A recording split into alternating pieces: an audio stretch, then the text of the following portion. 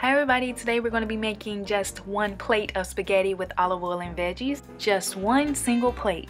If you want to make yourself some spaghetti and not the whole entire family, then this recipe is for you. The first thing you want to do is cook your pasta. That is the longest step of the recipe and we're going to let that cook while we prepare the rest.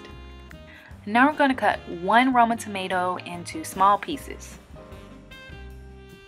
It only takes a minute to do by hand, but if you want, you can use a food processor.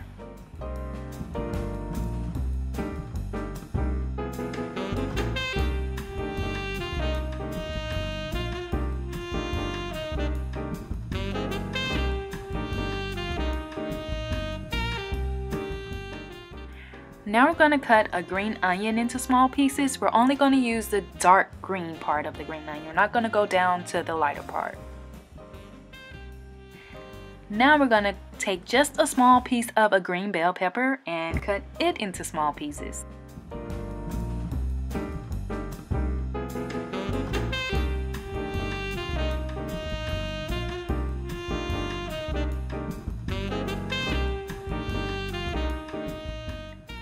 Now we're gonna slice, thinly slice, a piece of a red onion and then chop that into small pieces. As you can see, most of this recipe is just cutting vegetables into small pieces.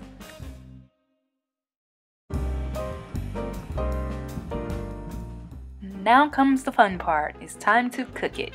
You're going to put 2 teaspoons of extra virgin olive oil in a skillet over high heat.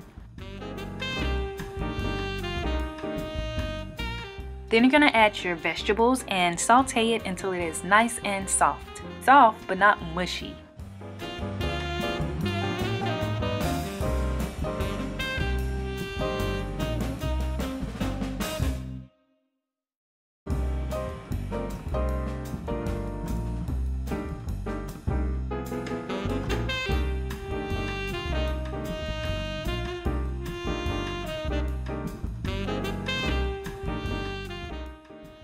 When it is ready, it should look something like this. Now you're going to add 2 tablespoons of extra virgin olive oil. And then you're going to add your hot cooked pasta. And also turn the heat halfway down. Stir it up a little bit to get the olive oil all on the spaghetti. And then we'll add our spices. First we're to add salt. I use a grinder so I don't know the measurements, but this is three full grinds. Now we're to add a fourth of a teaspoon of black pepper. You can change that to an eighth if you're not really into a lot of spice because this recipe is a tad bit spicy, not burn your mouth spicy, but just a little spicy. And that was one teaspoon of Mrs. Dash garlic and herb seasoning.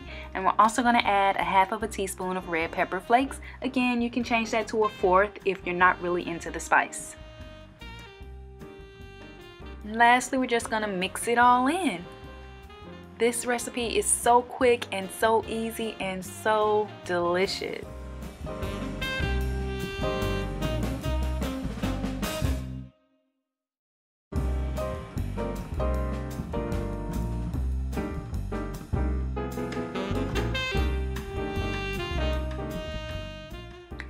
And that is it. This is just enough for one person. So no more making enough spaghetti to feed a small army when it is just you. I hope you try it and enjoy it and thank you so much for watching.